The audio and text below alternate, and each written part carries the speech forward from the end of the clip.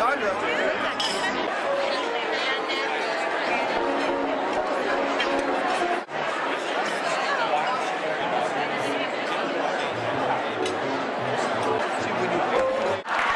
up around four or five in the afternoon, totally waterlogged, and wondering if I had grown gills. and I said to myself, how did I get booked into this act?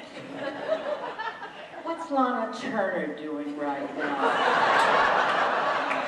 And I, my dressing room was right next to hers. She was A, naturally, and I was B, happy to be second to her, because Joan Crawford was C.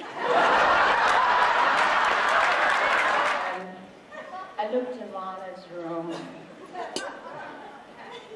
There was a king-size bed in the living room. I had a card table.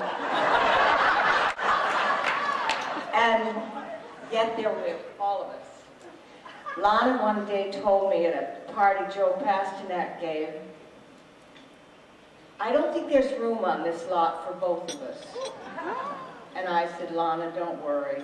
We're going to be doing two entirely different things. I'm going to be underwater and you're going to be on that bed.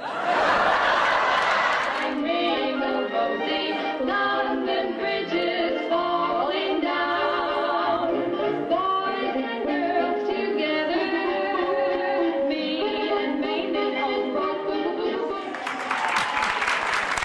We would have made a very good film together. You know something? If, if Jude went on the stage, on screen, right now, this minute, everybody would say, God, she looks really like Jude. Did, look at her.